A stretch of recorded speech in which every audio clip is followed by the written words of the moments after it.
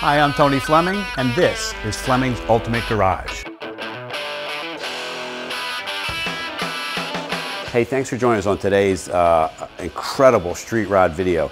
Uh, right now we have two complete hanging tags. These are the hanging tags when you come into the store here uh, that we put on the front windshield of the cars to kind of describe uh, what's on the car and some of the detail and things like that that you wouldn't normally see. I'm gonna spend a little time going over this car. I'm sure I'm gonna miss 50% of all the little things that were done to this car. This car took roughly five years and $150,000, I keep saying car, uh, this uh, pickup uh, or street rod or whatever you want to call it. Um, but anyway, five years and $150,000 in parts, labor, uh, and things like that. And as you look around some of the details, some of the details, some of the small things that were done that you may say, well, that's not really a big deal, probably took a month or two months uh, to sort out. For instance, even things like the hidden hinges inside the doors. Like if you looked at a regular uh, pickup, you know, obviously they open one way or they open this way and the hinges would be exposed. These are uh, suicide doors and they're done with these great hinges inside and I got so excited about them. Like little, just little stuff. Like for instance, like check this out. This is a door handle to open, the, open it up. You just push it down like that. Look at that. Lighting inside here. Power windows. Look at the door panels. They're custom molded leather door panels, right? These are the hinges I was talking about right in here. Look at the look at the workmanship. Somebody had to cut out that Get all of that to fit in there. Stainless steel screws to match it. Anyway, we're getting inside the truck and I don't want to get inside it yet, but I wanted you to see just how beautiful.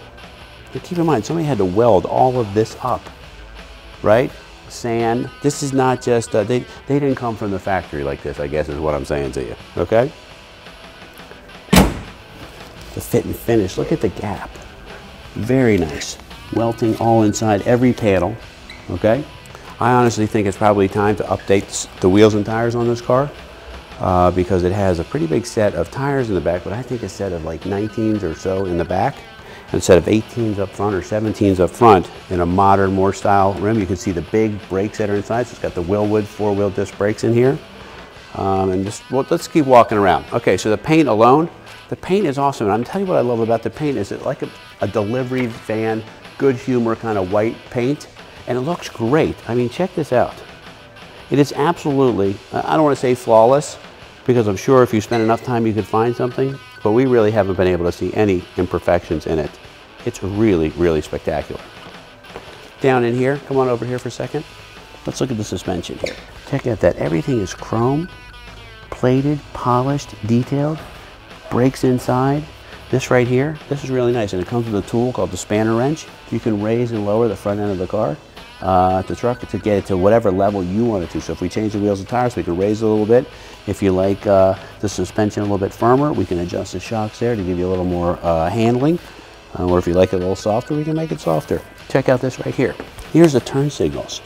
You almost can't even feel them as how perfect they are uh, put inside here. This canvas top is really beautiful here, check out this mirror. Look at it, it's just a custom mirror.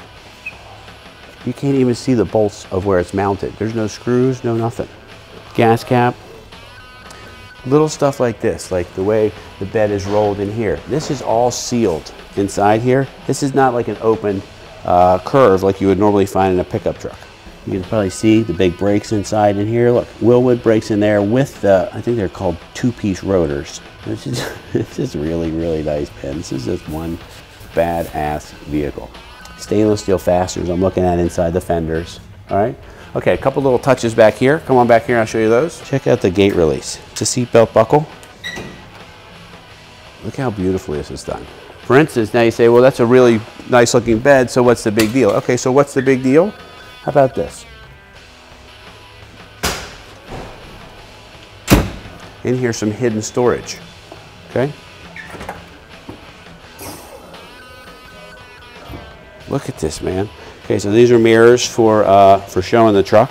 Then there's all carpeted and storage in here. It comes with the spanner wrenches for adjusting the suspension. Extra belt. Comes with car cover. But look how nice that is, man. This is so well done. Look how beautiful. Rear end is housed underneath there. Recessed hinges in there. Even the, even the gas adjust to hold that up are, uh, are chrome. something we may have not seen, but it's got a third brake light recessed in there. Now what we're gonna do is spend a minute underneath the truck. And the reason why you need to spend a minute underneath the truck is although the truck is really nice looking up top, it is nothing compared to the bottom of the truck. If you were to say, let me divide up uh, 100% into what I spent on the top of the truck versus what I spent on the bottom of the truck, I'd say you got 25% on the top, 10% in the bed, and all the rest underneath. All right, so here we are um, laying on the floor. And quite honestly, I don't know actually how to handle this if I own a vehicle like this. Is like, would I spend time underneath of it or would I spend time uh, on top of it? Because everything about it has incredible workmanship in it. Even little stuff like you can't even see. I wish you guys could see like, uh, for instance, like the cross braces, a custom made frame for this vehicle, right? And in the cross braces buried up in there is the brake lines. And they're beautifully bent. And forget the fact that they're even beautifully bent and they're custom made and whatever, but they're all polished. Even the brake lines are polished. Currie Enterprises, big center section, uh, nine inch in here, fully adjustable shocks here uh, for height and things like that. They're polished. The exhaust system is spectacular.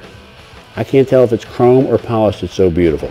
Look in there, you got the, uh, the Wilwood brake adjuster in there, so you can adjust that for uh, proportioning, how much brakes you want up front and back. Even the transmission is painted body color. The frame is just beautiful.